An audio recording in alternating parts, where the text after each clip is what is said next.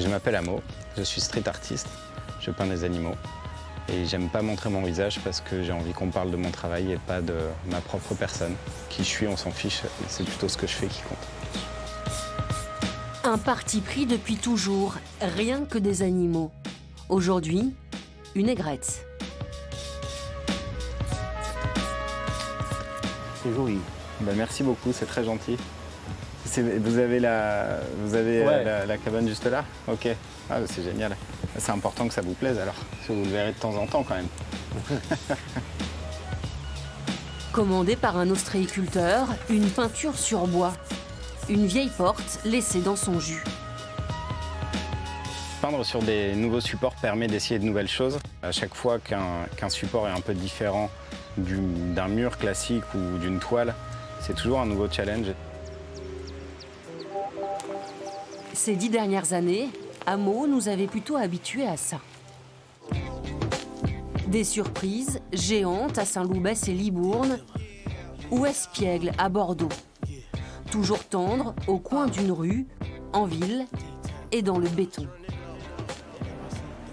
L'idée est de surprendre le spectateur qui tombe nez à nez avec un animal alors que dans son quotidien ça arrive jamais bien évidemment.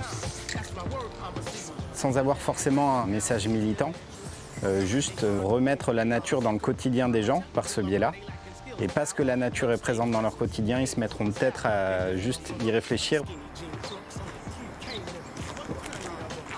Salut bah, C'est gentil de nous recevoir. Depuis quelques années, Amo s'invite sur toile et s'immisce chez vous. T'as pas vu, j'ai accroché la litho là. Regarde, tu reconnais tes œuvres. Ah bah oui. Au milieu des autres street arters. Des particuliers, simples amateurs ou collectionneurs. C'est un honneur d'avoir une si belle place euh, dans une si belle maison. Moi, je suis fasciné par les grands singes, donc ça tombe bien. Mais effectivement, on sait que tout est fait à la bombe. Bah, quand on regarde le détail, euh, c'est une prouesse. Petite question provoque, est-ce que d'avoir un street artiste dans son salon, c'est pas le comble de la mode aujourd'hui? Euh, Ouais, mais on avait commencé avant. à partir du moment où c'était plus des graffitis quand ils ont commencé à entrer dans l'art. Et quand ils ont commencé à sortir des murs pour faire des tableaux. Philippe Jean, un client de la première heure qui jouerait presque les parrains. Je le pousse à aller dans d'autres domaines. Exactement. Je le secoue un peu. Se mettre en danger, changer de support. Depuis peu, Amo se lance dans les produits dérivés pour mieux se faire connaître et c'est assumé. Et le petit détail des caps avec la. Qui a été pris dans la, matière. Mm. Ça, c'est trop bien. Les petits gaufrages. Une bière locale vendue partout en France, du merchandising, mais pas à n'importe quel prix. Je me travestis quand je fais quelque chose qui est en désaccord avec euh, ce que j'aime, ou ce que je fais, ou ce que je suis. J'ai pas envie de travailler avec euh, la grande distribution, j'ai pas envie de travailler avec les supermarchés. Si je fais du vin, de la bière euh, ou du cognac, j'ai pas l'impression de me travestir. Venez voir derrière.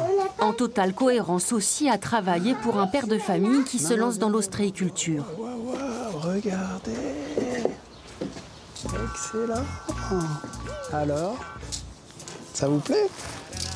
Ouais. Ouais, sur le noir, ça ressort super bien. Ouais, le noir permet vraiment de faire ressortir les couleurs. C'est un truc euh, très beau. Toujours, euh, Avec la terrasse comme ça. Euh, J'en vis depuis 8 ans maintenant, à temps plein. Je suis bien conscient, j'ai bien conscience de la chance que j'ai de pouvoir vivre de ma passion. Souvent, les gens, pour me faire plaisir dans la rue, quand je suis en train de peindre, euh, ils me disent euh, Dis donc, ce que vous faites, c'est presque de l'art. Hein. Chapeau, hein. Vous pourriez être un artiste, vous. Parce que pour eux, on n'est pas des artistes. Si on peint dans la rue, euh, c'est que c'est qu'on n'a pas pu faire autre chose, quoi. C'est marrant. Hein. Donc ça pourrait être ça l'objectif, que ça change? Non, je m'en fous. Sincèrement, je m'en fous. Ce jour-là, Amo nous a tout de même fait une promesse. Ne jamais lâcher la rue, même happé par les commandes, et continuer de nous livrer à nous passants ces petits cadeaux.